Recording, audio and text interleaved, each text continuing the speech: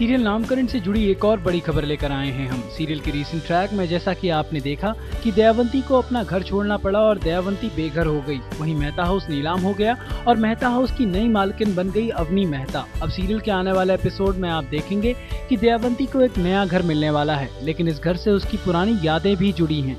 दयावंती अब जिस घर में रहने वाली है वो घर है आयशा का। दयावंती जहाँ अब आयशा के घर में रहती नज़र आएगी, वहीं बार बार अवनी की तस्वीरें देखकर उसके अंदर का गुस्सा और भी बढ़ जाएगा। क्योंकि दयावंती जहाँ इतनी परेशानी में है, वहीं ऐसे में अवनी और आयशा की तस्वीरें देख उसका हौसला और ज़्यादा कमज़ोर हो रहा है। वहीं दयावंती अब एक बार फिर से बड़ा प्लान बना रही है और इस बार उसका टारगेट है अनन्या मेहता, क्योंकि अनन्या मेहता मेहता हाउस की नई मालकिन है और अब दयावंती अपने घर को वापस लेना चाहती है। अभी देखना बेहद दिलचस्प होगा कि मेहता हाउस को वापस लेने के लिए दयावंती क्या बड़ा प्लान लेकर वापस आएगी। इसी के साथ इस सीरियल की कहानी में आगे क्या होगा, ये बात हम आपको आने वाली रिपोर्ट्स में भी बताते रहेंगे। साथ ही टीवी और बॉलीवुड से जुड़ी सारी लेटेस्ट अपडेट्स जानने के लिए आप सब्सक्राइब करना ना भूलें हमारा channel top news just for you. Top news से रोहित की रिपोर्ट।